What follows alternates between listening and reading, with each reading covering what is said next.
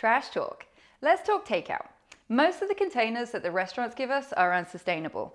The best way would be to bring your own. Let's take a look at what I carry in my bag. So I have managed to squeeze everything into a washable makeup bag. Inside, I have a foldable bowl, which obviously doubles up as a plate. Uh, I also carry little baggie, which I can buy my groceries in and also have been able to put some of the foods I might buy from a restaurant in.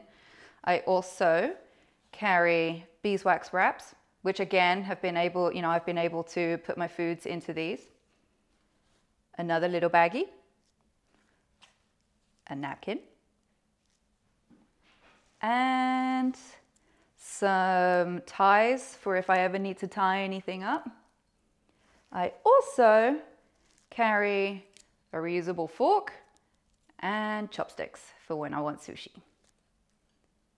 For drinking, I either carry this container, which I am actually able to put both water and hot drinks in this, and it's actually useful for both. But most of the time, I'll just actually carry a cup from my home.